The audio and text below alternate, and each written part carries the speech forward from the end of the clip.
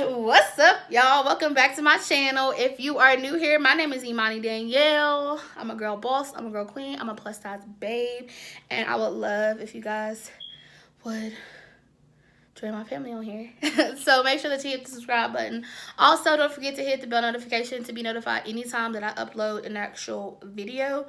And if this is just your first time here, then what's up? What's good? What's popping? Today, I'm gonna be telling you guys a story. So I asked you guys on my Instagram if you wanted to hear a story about the time a NFL player slid in my DMs. I'm gonna I have a story. So um, I do have some receipts to match because I know people probably be like, girl, she lying. This is a story she made up. But I do have the DM um, to back my story up. I don't remember the exact date to be honest. And I probably should have looked at that before I start filming this. But this has been months ago. It probably was like maybe September-ish, October, maybe even August, somewhere in there. Um, I got this DM, and I get DMs all the time. Like, I'm not sitting here trying to toot my horn or suck my own tits, but I do get DMs all the time on Instagram. And I got this DM, and when I looked at it, it went to my request box. So I only check my request box every so often on Instagram. So when I got the DM, I went to my request box. So I was in my request box looking through them, just scrolling, scrolling, scrolling. And the reason why I caught my eyes because it had the little verified check mark beside it. So I was like, who is this? Who is this is verified messaging me?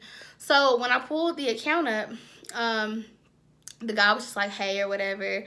And um, I went to his page. So I was like, who is this? So I went to his page.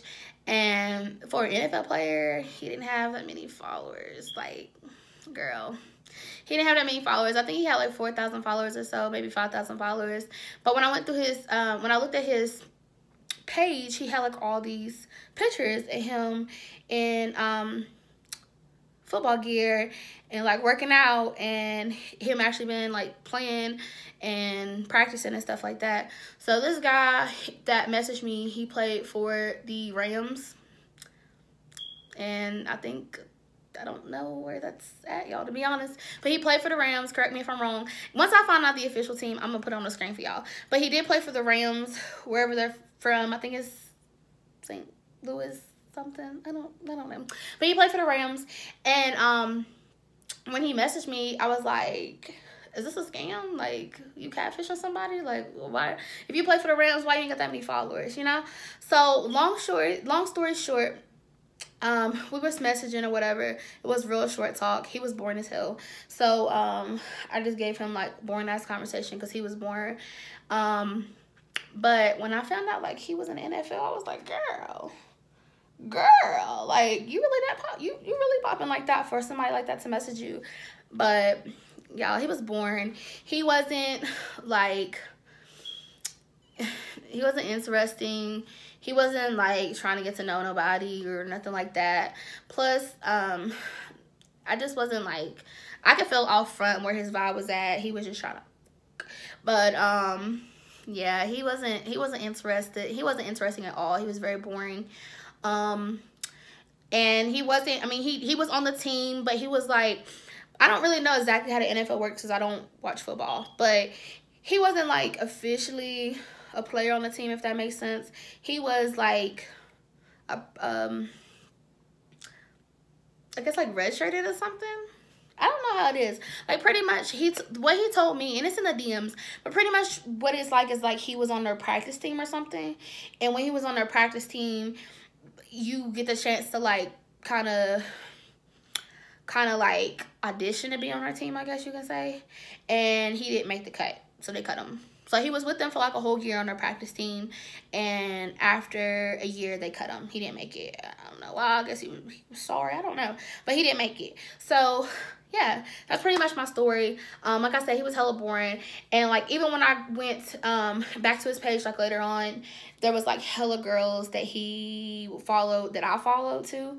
So I was like, this nigga either trying to get some clout off of one of us or he just I don't know.